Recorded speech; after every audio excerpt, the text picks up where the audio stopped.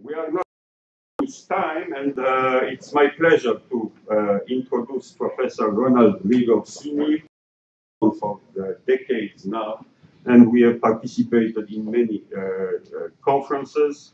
Uh, his publications take two pages, so you know I, I try to be brief.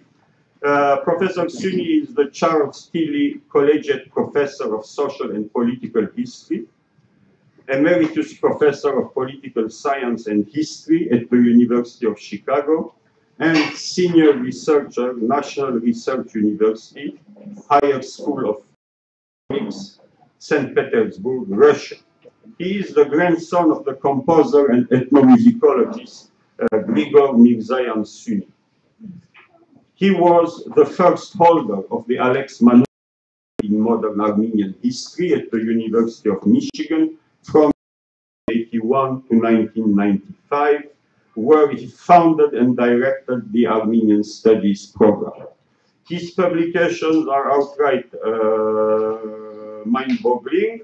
Uh, they stretch from uh, Russian history, Russian imperial history, to Soviet history, the role of intellectuals, uh, I will just mention, and I hope he doesn't mind, just a couple of, of volumes. The very important uh, collection of uh, essays uh, coming from the workshop on Armeno-Turkish scholarship. Ron edited that volume along with Professor Müge Göçek and Norman Naimark.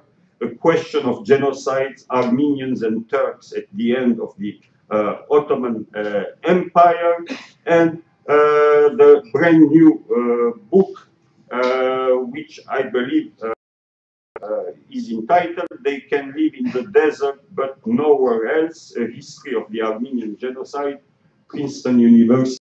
2015, having read the summary of that volume, I got the impression that we finally have a readable one volume uh, textbook on the Armenian uh, genocide. And it's my pleasure to uh, welcome Ron. He will be talking about his book, I believe.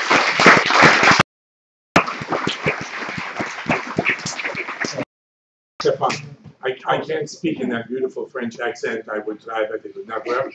So I will, I will speak in my own accent. Uh, I remember years ago that a famous uh, and very important Armenian scholar said, I know you're going to speak, Ron, about genocide, and you're speaking to a largely Armenian audience. You know, I, I, I know the subject is terrible, but could you make it a little upbeat? That's difficult to but I try. I, I want to talk today a word that, in fact, conjures up images of the most horrendous crimes that can be by states against de designated peoples. This term, genocide, is so powerful as a concept in international law, a claim by governments of their own victimization. You almost have to have a genocide in your uh, or else you don't really qualify as a state anymore. Uh, and as powerful sources of national identification, that the term genocide has been either narrowed to only involve the Holocaust of the Jews, the Judeocide, or expanded so broadly to involve almost all instances of mass killing in our world. Uh, in the book that I've written, They Can Live in the Desert But Nowhere Else, uh, I've employed the word genocide in a specific way to designate what in German is called Völkermord, the murder of a people, and in Turkish, soykırım, or in Armenian, Sekaspanuchun. That is the killing of an ethnicity, or in an older understanding, race. In other words, in my view, and in this book, mass murder in and of itself does not a genocide make. Although legal definitions do not capture the full range of historical examples, there is utility, in my mind, to restricting the term to what might more accurately be called ethnocide. That is the deliberate attempt to eliminate a designated group defined by cultural characteristics, language, imagined biological race perhaps, religion, and that these characteristics have historically bound these people together as a community and appear to distinguish that people from others. While other forms of mass killing, war, massacres, induced famines, the great purges, all involve death on a horrendous scale, the motivations and intentions of the perpetrators are different enough from these ethnicides that they require, in my mind, distinct explanations. Genocide, in other words, is not the murder of people, but the murder of a people. In his first publication using the term that he had coined, the lawyer Raphael Lemkin explained, and I quote, the practice of exterminating nations and ethnic groups as carried out by the invaders, that is the Nazis, is called by the author genocide, a term deriving from the Greek word genos, tribe, race, and of the Latin cide, by way of analogy, see homicide, fratricide, etc., unquote. As difficult as it is to discern, intentionality is key to as the starting point, uh, and death is the result of the intention to eliminate whole peoples, or at least render them impotent. Genocide, thus, is ethnically inspired violence, but should be distinguished from ethnic cleansing, which may entail killing, but more immediately involves displacement and deportation the physical removal, the, move, the moving, the deportation of a distinct population. Uh, ethnic cleansing is when you want the land, but you don't want the people on it. American Indians or Australian Aborigines, whether it was Chechens, Kalmyks, Crimean Tartars, Volga Germans, or other Soviet peoples, Palestinians in what is now Israel, or Kurds in Turkey, this ethnic cleansing is often accompanied by a loss of life, and killing is often an instrument to force people to move. The physical removal of people, because you want the land but not the people, then is closely related to genocide, but may or may not require mass murder. The imperial ambitions of Europeans and the subsequent settler colonialisms, beginning immediately after the discovery of America in the 15th century, and continuing through our own 21st century has resulted, as we know, in horrendous violence and forced movement of peoples, brutal precedents to the policies carried out by the Young Turks and the Nazis. Ethnic cleansing and genocide, of course, bleed into one another, and the Armenian genocide is an example uh, of ethnic cleansing, deportation, dispersal. These Armenians will not constitute anywhere more than 5% of the population. Uh, but it also accompanied killing massively, massacres, uh, the, forced starvation, as well as forced assimilation and Islamization, mostly of women and children. This is a very gendered genocide. But uh, it seems to me it's useful uh, heuristically or analytically to keep these terms ethnic cleansing and genocide apart.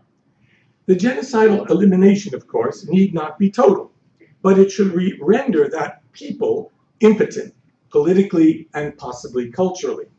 Few modern mass killings or even genocides have resulted in the total liquidation of a people. And both the Armenian and Jewish genocides resulted, as we know, in new states being formed and populated with survivors and their descendants. But the mass of Armenians never returned to the historic homeland in Anatolia that they had inhabited over 3,000 years. And the Jews, while hardly totally erased, never reconstituted the vibrant Yiddish culture that they had evolved over many centuries in Central and Eastern Europe. Those genocides had results. They were genocidal in the physical, political, and cultural sense. Although on moral grounds, one form of mass killing is as reprehensible as another the framers of the Genocide Convention may have done us historians and political scientists a favor limiting the of the United Nations United Nations Convention on the Punishment of the Crime of Genocide, December 9, 1948.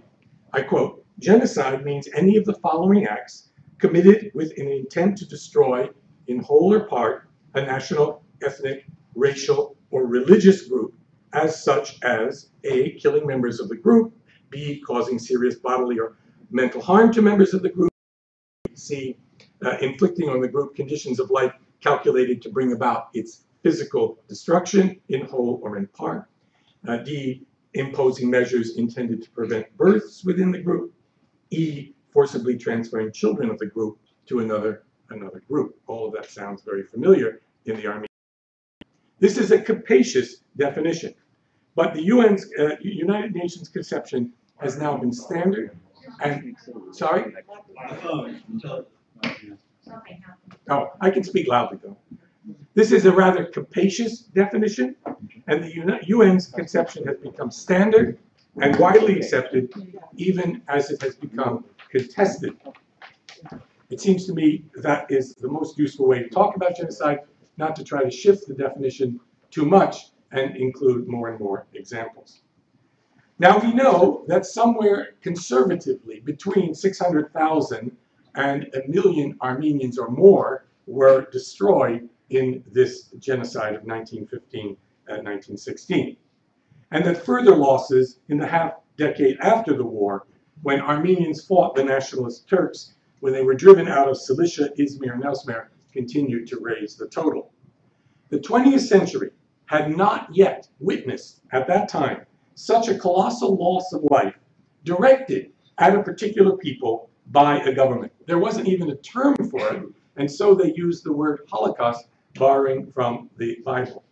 Mass killing of this magnitude, the, the greatest uh, atrocity of its kind in World War I, made the unthinkable thinkable, and the political engineers that emerged from the Great War were able then to calculate higher human costs as their population policies, whether directed against ethnic groups or class enemies, as in the Soviet Union, reshaped whole societies. The purpose of the Armenian genocide was to eliminate the perceived threat of the Armenians within the Ottoman Empire by reducing their numbers and scattering them in isolated, distant places. The destruction of the Ermeni Milleti was carried out in three different but related ways. As I mentioned, dispersion, massacre, and assimilation by conversion into Islam. A perfectly rational, or we could say rationalist, explanation then for the genocide appears to be adequate and has been used by the deniers. That is a national security argument, a raison d'etat, a strategic goal by the Young Turks to secure the empire by elimination of what they understood to be an existential threat to the state and to the Turkish or Islamic. The Young Turks were determined to save their empire. They imagined this internal threat, and they believed something had to be done about it. Paradigmatic nation state, the way the Kemal later. But they were going to change the nature of that empire so that one imperial nation, mainly the Turks, they even suspect and Arabs of not being trustworthy, dominate this Herrenvolk uh, over the other nations. For one of the most radical of Turkish nationalists, Ziya Gökalp, uh, he wrote, the people is like a garden. We are supposed to be the gardeners. First, the bad shoots are to be cut, and then the scion is to be grafted, unquote. So this, what the book tries to show is the growing disposition, this affective, emotional disposition, which grew more and more virulent within the Ottoman elite long before the war. And some extremists contemplated radical solutions to the Armenian question, particularly during and after the Balkan Wars. But it was the World War only presented opportunity for carrying out the revolutionary program against Armenians, but provided the particular conjuncture radicalization and intensification that convinced the Young Turk Triumvirate to deploy ethnic cleansing and genocide against the Armenians. The moment at which that disposition, that proclivity toward violence became action occurred only after the outbreak of the war when the leaders feared that their rule was in peril, when they focused on the Armenians as that wedge that the Russians and other powers could use to pry apart their empire. Had there been no world war, there would have been no genocide. Not only because there would have been no fog of war to cover up the events, but because the radical sense of endangerment among Turks would not have been as acute. Without the war, there would have been less motivation for a revolutionary solution and many more political opportunities for negotiation and compromise. Very interestingly, on the eve of the war, the Young Turks had decided to sign up with the Germans. They were going to join the Germans. But at the same time, Turks, being a little bit devious, they decided also to negotiate with the British and, and the French, and particularly the Russians. And Talat Pasha even went to Crimea. You all know where Crimea is now, right? Uh, Crimea uh, to meet with Nicholas II and Sazonov, the foreign minister, and tried to make a deal. We'll give up those Germans if you give us a deal. But the Russians and the British insisted on implementation of the reform of 1914. That is, Christian inspectors in the Armenian six vilayets. And the Young Turks said, no, we'll go with the Germans. The Germans will look the other way, which is precisely what they did. So there are lots of causes. There are too many causes. Historians love causes. We throw everything we can at an explanation. We overdetermine things, right? Political scientists want something more, uh, you know, parsimonious. So I'm trying, by talking about affective disposition, to throw all those ingredients in the pot, all of which then help make this mentality, this affective disposition, which led to genocide. For Zia Gökalp, like so many others who saw the genocide as necessary, or even force on the Ottomans, he could with confidence write the following. Quote, there was no Armenian massacre. There was a Turkish-Armenian arrangement. They stabbed us in the back, we stabbed them back. What was done, I unquote now, uh, was done in the name of national security, right? Not racial theory, not like the Nazis, national security, a justification which still exists with us today and is seen by deniers and others as permissible for taking one of your recalcitrant peoples. Rather than a simple clash of religion or rival nationalisms, the genocide occurred because of a strategic vision of what the Ottoman Empire should become, a vision colored by the passions of the Ottoman leaders, their propensity for violence, and this affective disposition of hostility Eh, which included the powerful emotions of anger at what the Armenians had done, fear, resentment, and hatred. The disposition, that emotional universe that the Ottomans constructed made possible the most brutal reprisals against perceived enemies. And it developed over half a century. Still, this emotional coloring of others need not to have led to genocide. It was men, men particularly, who made choices, in a particular conjunction, when war and invasion threatened defeat and dismemberment of the empire, the Young Turks took this disastrous, even self-destructive policy decision, ultimately whole peoples, Armenians and Assyrians in particular, and accelerated, indeed, the moment of their own destruction. Those who perpetrated genocide appeared to operate within their own delusional rationality. The Armenian genocide, I would conclude, and I hope this is a little bit upbeat, I'm not sure after what I just... the Armenian genocide, the killing of the Assyrians, and the expulsion later of the Anatolian Greeks, laid the ground for a more homogeneous nation state that arose of empire. Like many other states, Australia, Israel, the United States, the emergence of the Republic of Turkey involved the removal and subordination of native peoples who had lived on its territory prior to its founding. We can see that in the making of nations, or even in the last years of an empire trying to reform itself, the connection between ethnic cleansing or genocide and what later would become the idea of legitimacy of new national states. This uh, search for legitimacy, this erasure of the ugly past, of the foundational crimes on which modern states, including Turkey, Israel, and even the United States, have been founded, uh, is what leads to these desperate efforts to deny or distort the history of the nation and the state's genocide. If you want something upbeat then, coming to terms with that history, maybe the kind of conference that Stepan has organized here, maybe can have a salutary effect of questioning such continued policies of ethnic homogenization and the refusal to recognize the claims and rights of those peoples, minorities, and diasporas which include Aborigines, Native Americans, Kurds, Palestinians, Assyrians, or Armenians, people who refuse to disappear.